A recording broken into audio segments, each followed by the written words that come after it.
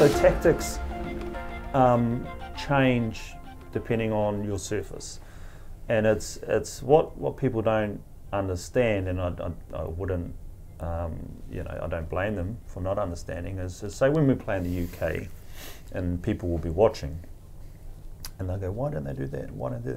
Well, the game's the game's completely different on how you play it over there and it's it's it's how we would play shots in New Zealand and how we play them over there are just completely different.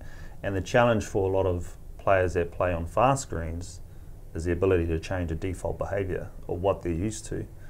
And that is very difficult. That's where it feels like you're learning a new game over and over again. And that's the challenge for a lot of our players.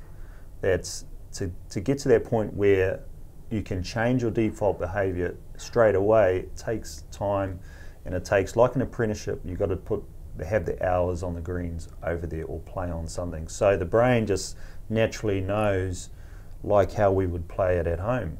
It's the same kind of concept. So over time um, the players of the core group of players if they're still around 20 years time that knowledge that they'll build up from say this year in the com games and, and the further events, they will become more accustomed to the change quick. It'll just happen. Things will start coming back because uh, you've done it. It's the experience gained um, when you go through it. So that's probably uh, something that a lot of people they probably just watch at home and they probably go they probably can't fathom um, the fact of what 10 seconds even feels like playing on. The bowls are coming into the head at a different angle than they are in New Zealand. So rather than it being a, a bit of a wider arc and coming in like that, in, in the northern hemisphere they're coming in pretty straight.